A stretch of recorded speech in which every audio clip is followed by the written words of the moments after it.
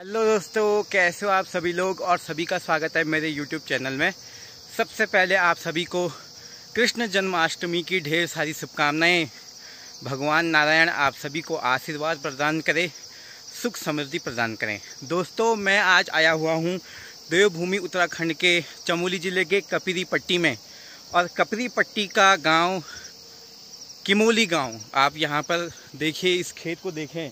और खेत में झंगोरा झंगोरा बोया हुआ है। आप लंबा चौड़ा खेत मैं आपको दिखा दिखाऊँगा ये आप देख सकते हैं पीछे। इस खेत में पूरा झंगोरा बोया हुआ है। झंगोरे की फ़सल बोई हुई है।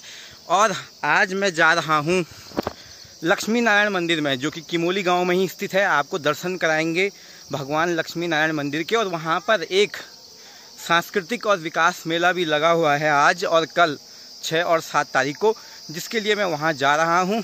और मेरा ससुराल भी यहीं जसियाला गाँव में पड़ता है तो मैं ससुराल आया था और आज जा रहा हूँ लक्ष्मी नारायण जी के दर्शन करने। तो बने रहिए आप हमारे साथ। आगे जो जा रही है मेरी वाइफ और मेरी सियाली जी, और ये है रास्ता। गाँव के बीचों बीच हम जा रहे हैं, और जैसे मैंने आपको पहले भी बताया दोस्तों यह है झंगोरा, झंगोरे की बाली। और झंगोरे की फ़सल जो है अब तैयार हो चुकी है, आप देखिए।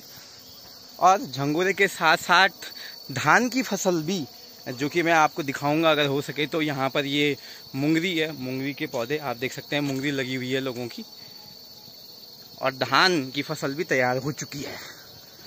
दोस्तों तो ये लोगों का घर यहाँ पर। इसके बीचों बीच हम जा रहे हैं लक्ष्मी नारायण मंदिर में। ये देखिए दोस्तों, सामने लक्ष्मी नारायण जी का मंदिर है। और बहुत सारी गाड़ियाँ यहाँ पर लोगों ने लगाई हुई है। बड़ी बड़ी गाड़ियाँ लोग दर्शन के लिए जा रहे हैं और ये है मंदिर।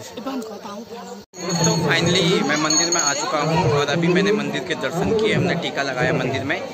और यहाँ के मंदिर की ये खासियत है कि यहाँ पर जो है, चंदन का टीका लगाया जाता है पंडित जी के द्वारा और काफ़ी भीड़ यहाँ पर लगी हुई है ऑलरेडी दोस्तों, आप देख सकते हैं, ये है मंदिर, मुख्य मंदिर और किस तरीके से मंदिर को भव्य तरीके से सजाया गया है। फूलों की मालाओं से मंदिर का श्रृंगार किया गया है और दर्शालुगढ़ यहाँ पर दर्शन भी कर रहे हैं, आप देख सकते हैं सभी को। और कोई फ़ोटोज़ खिंचा, खींचा रहा है तो कोई वीडियो बना रहा है।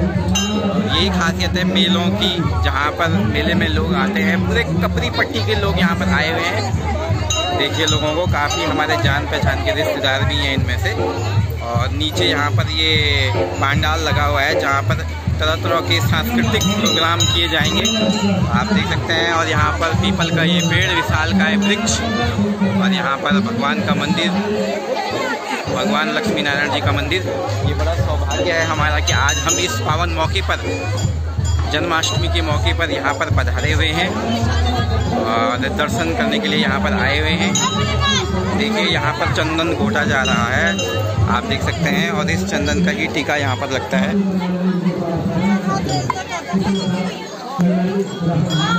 और देखिए, लोग आ ही रहे हैं अभी भी। और नीचे आप देखिए ये पांडाल लगा हुआ है और इस पांडाल में लोग बैठे हुए हैं। देखिए किस तरीके से भीड़ लगी हुई है। यहाँ के लोगों की, ये सारे हमारे रिलेटिव्स यहाँ पर आए हुए हैं।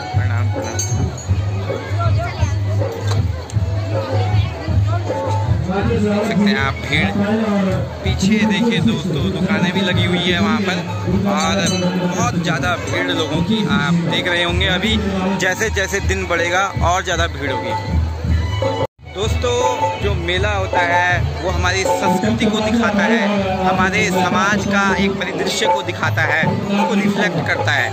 तो मेला होना चाहिए समय समय पर, सांस्कृतिक मेले होने चाहिए, जिससे हमारे सांस्कृतिक कार्यक्रम और पहाड़ों की जो नारियाँ होती है, महिलाएँ होती है, वो तरह तरह के कार्यक्रम प्रस्तुत करती है। स्कूली छात्र, छात्राएँ कार्यक्रम प्रस्तुत करती हैं। उनके लिए बहुत बड़ा मंच ये होता है। इसको केवल एक राजनीतिक दृष्टिकोण से ही नहीं देखना चाहिए कि पॉलिटिक्स लोग आएँगे पॉलिटिशियन लोग आएँगे, बैठेंगे, उनका माल्यार्पण होगा, बस यहीं तक सीमित नहीं है। यहाँ पर बच्चों की प्रतिभा भी हमें देखने को मिलती है। क्षेत्रवासियों का विकास होता है इस चीज़ से, मेले से और घोषणाएँ सरकार की तरफ़ से उनके कल्याण की होती है। तो ये भी एक एक बड़ा मंच होता है इस चीज़ के लिए। और भगवान नारायण आप सभी को सद्बुद्धि दे और आप सभी का वो भला करे, यही मैं कामना करता हूँ।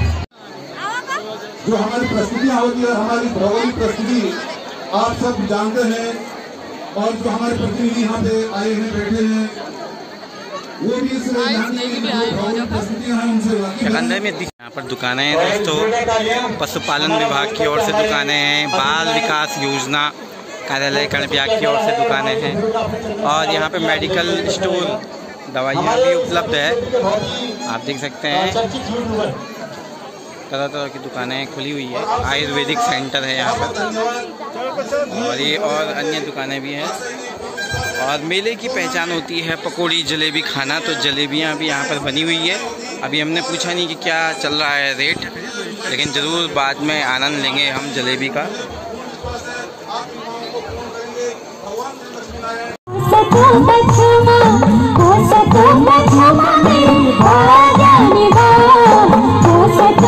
सको बचमा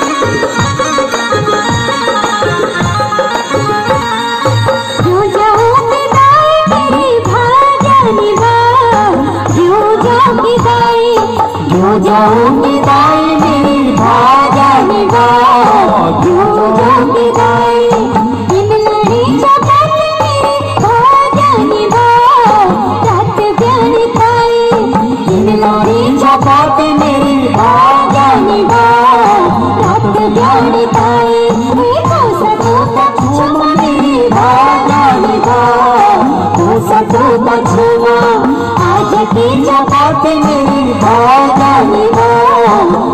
मैं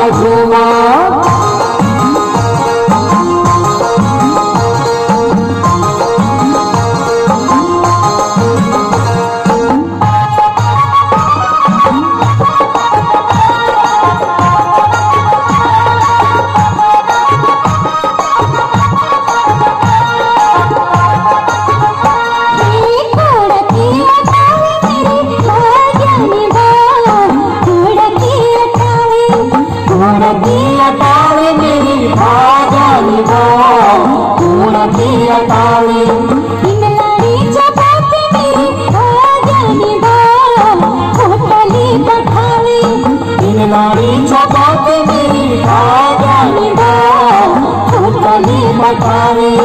हो सको पछुमा मेरी भाजानी बा हो सको पछुमा आज की चपात मेरी भाजानी बा है तुम्हारा झुमा तो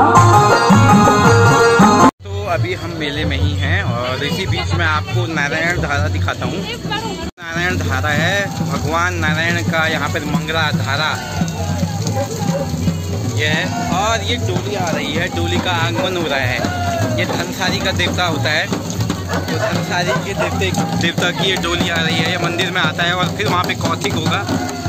आप देख सकते हैं माता की डोली।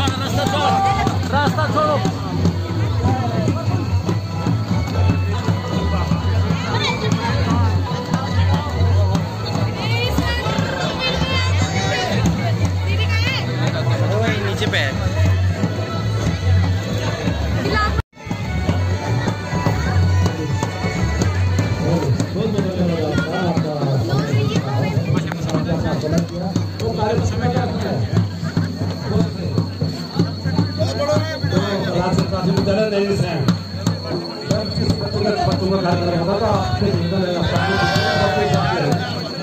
सैन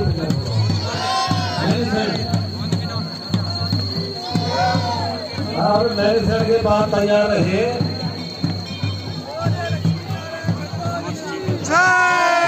नए सैन ये कमिटी भी है इनका अ, राष्ट्र पार्टी विद्यालय नैनी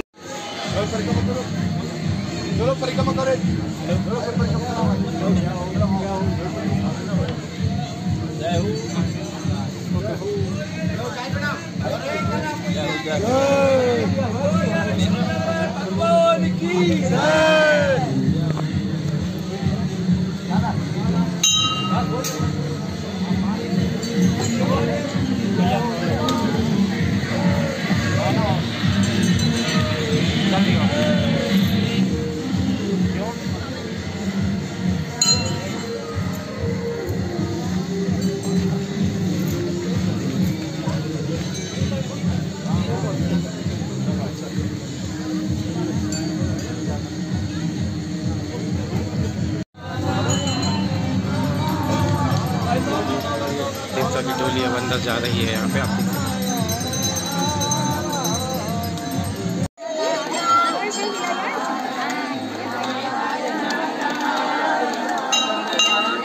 और ये महिला शक्ति यहाँ पर भजन गाते हुए लक्ष्मी नारायण जी के